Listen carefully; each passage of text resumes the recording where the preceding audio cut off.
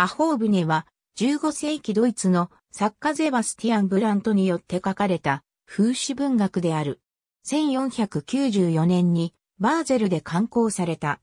1497年にはラテン語訳も刊行され、その後英語、フランス語、オランダ語など各言語に翻訳されて16世紀ヨーロッパにおけるベストセラーになった。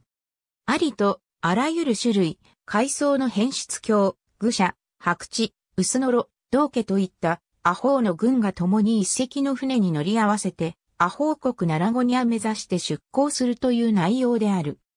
全112章にわたって112種類のアホーどもの姿を、シャニクサイの行列のごとく配列して、滑稽な規範画の挿絵とともに描写しており、各章にはそれぞれに教訓詩や風刺詩が付されている。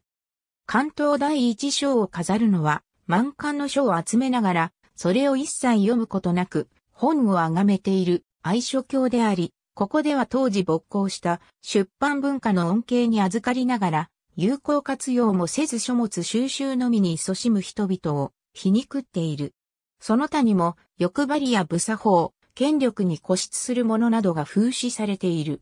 本書は同時代ドイツにおける世相やカトリック教会の大敗、腐敗を風刺したものとされる。アホー船の題名は、新約聖書のルカ福音書に現れる、ペテーロの船を意識したものらしい。日本語訳は、現代視聴新社の総書、古典文庫シリーズより、上下2巻として刊行されている。ありがとうございます。